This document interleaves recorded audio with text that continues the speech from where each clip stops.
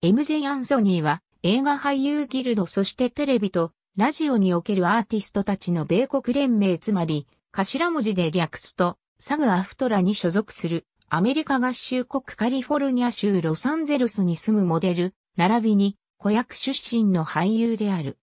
モデルや子役としてのデビューは早く、すでに4歳の時、アメリカ国内において放送されたベルタースオリジナル、キャラメルチョコレートという歌詞の CM に出演している。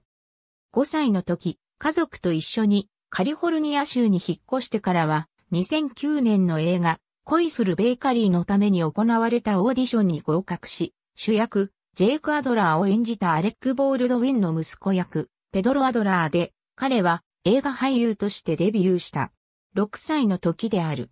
同作品の撮影が終了してからは、しばらく学業を優先して、また3年後に映画俳優として活動を再開した。過去に現場で関わったスタッフによると、彼は優しい子であり、雰囲気を明るくしてくれる存在であって、なおかつ仕事をしっかりとこなし、時には大人以上に与えられた役割をしっかりと理解することができる可愛らしい少年だったという。他の子と変わらず、テレビゲームやバスケットボール、BMX が好きな、ごく一般的な素顔の少年期を過ごしている。12歳になってからは、ツイッターやインスタグラムも始めて、今や数多くのフォロワーがいる。海外のサイト日本のサイト公式 SNS など、ありがとうございます。